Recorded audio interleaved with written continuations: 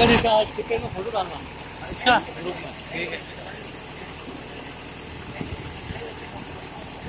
known as a flooring machine.